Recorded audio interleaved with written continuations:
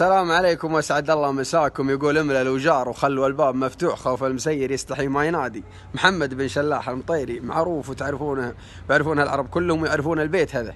البيت الخالد في التاريخ.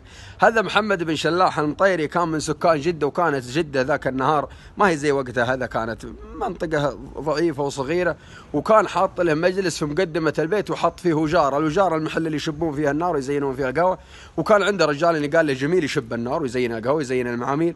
المهم ومخلي بابه مفتوح والمسير والطرق إلى منه جاء وشاف الباب مفتوح عرف إن فيه عرب وشاف الدلال ودخل وتقهوا على هذا الكلام. وسنة من السنين في ثالث أيام الفطر ثالث أيام العيد.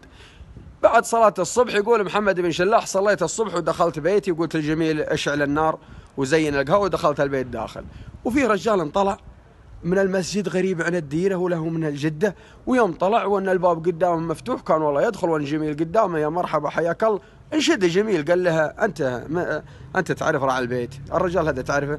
قال لا والله ما أعرف أنا يا بعد حي مسير من حائل وجاي لي ولد في جدة هنا بتعين له ولا اعرف الديرة. ويوم أني ظهرت من المسجد وأنا في فاقة الفطور وفي فاقة القهوة وعمسان من السفر ولا البيبان كلها مقفلة واستحيت. أني أدق بيبان العرب والعرب رقود وشفت البيت هذا مفتوح بابه. ودعمت عرفت إن في رياجيل حيين. يقول ابن شلاح أنا يوم دار الحوار بين الشمري والضيف وأنا عند جدار تسمع ويطري علي البيت اللي يقول من الوجار وخلوا الباب مفتوح. خوف المسير يستحي ما ينادي. وأنا أرجع للغرفة ونكتب البيت خايف إني اضيعه وأرجع وأرحب بالضيف ونتقهوى ولعنا بالخير ونفطر ونروح ندور ولده. ونعود ونذبح لهم الضيافة ونكرمهم واللي عليهم بالخير ويقعد البيت ستة شهور. حبيس الأدراج ما لقيت لها القصيده اللي الأبيات اللي تجمل مع البيت هذا. وبعد ستة شهور يقول وأنا أكمل القصيدة. عاد يقول ابن شلاح في قصيدته يقول أملأ الوجار وخلوا الباب مفتوح.